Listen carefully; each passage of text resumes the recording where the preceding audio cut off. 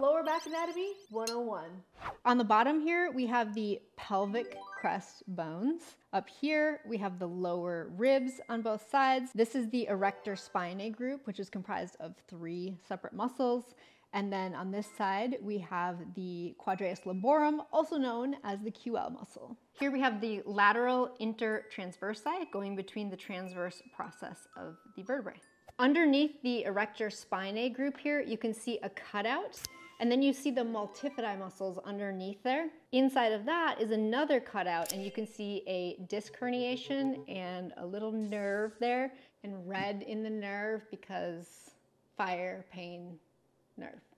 The groups of the two little muscles are the interspinalis lumborum muscles and those go between the spinous process of the vertebrae. These muscles are the rotators lumborum. And then up on the top here, we have the costal levators, and they just help hold up some of